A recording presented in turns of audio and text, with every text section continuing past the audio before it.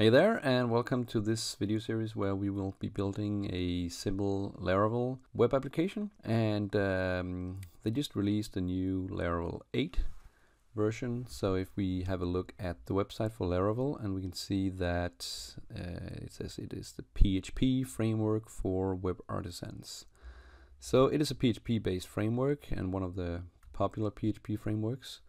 And uh, if we use search for Laravel 8, you will be taken to this page here where we can see the different versions of Laravel.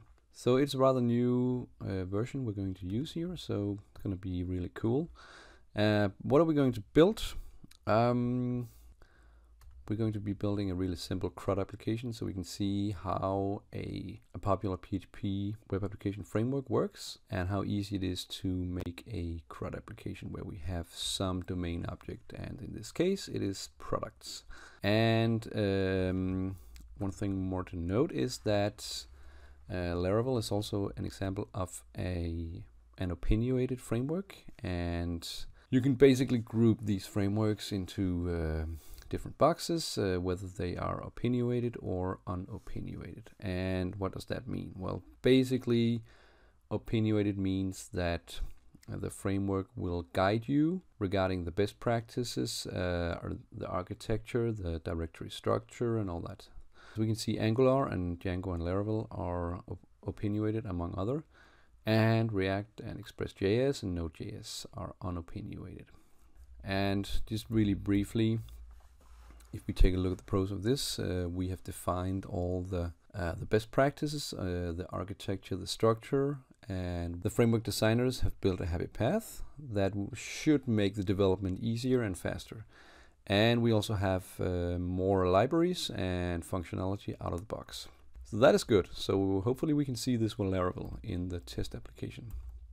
Uh, the disadvantages, if there, if you could uh, call it this, is that if we want to go outside of the framework, if we want to uh, do something that is unusual regarding the framework that is outside the scope, it will usually require some extra effort to make this work. And another thing is that it is um, a larger framework than if we take Express.js. And we probably also need to do some optimization caching to get a decent performance uh, out of this framework. But um, we have this really simple application here and this is what we're going to build. And just really quickly how it works. If we uh, click on this create new product uh, we can see that we're taking to this uh, create route here where we can create a product. One let's just have a look at this. I'm just going to copy this one here so we can reuse it and we're going to submit it and we can see product created successfully. Then we have uh, buttons for showing the product. That's all cool there. Edit the product if we want to make modifications to that and we can also delete it. And if we make a couple of products here whoop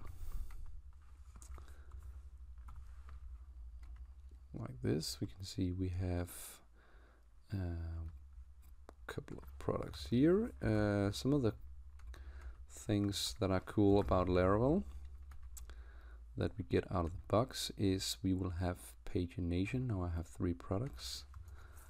And let's just uh, get this one here.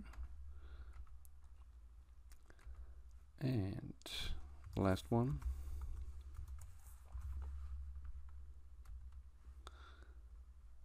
So we can see that if we zoom out a bit on this here, that now we have uh, five five product or six products, and uh, we can see that Laravel will automatically make a pagination feature in this here. So that is all nice, and we can uh, work on all the uh, the products. I can, if I want to remove this uh, duplicate five here, I can delete it. So now we don't have the pagination anymore, and I can also edit it if I want to update it. So we can see it's been updated. We can also delete them. We can clear the database of products. Cool. So this is basically how it works. And uh, this is the framework from within Visual Studio Code. And we can see we already have a lot of di directories and folders that contains a lot of different stuff and um, this is part of being opinionated usually that it we have already been guided towards a structure so we have a lot of different folders that we can work on um, that should be the best practice for this okay?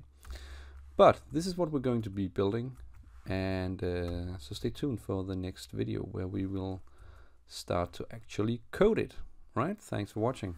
Bye bye